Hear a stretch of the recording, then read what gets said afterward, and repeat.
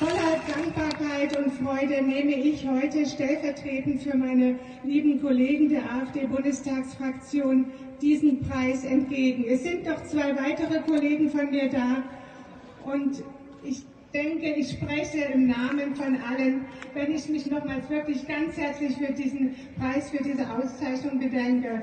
Diese Auszeichnung ist für uns eine Ehre und erfüllt uns mit besonderem Stolz auch.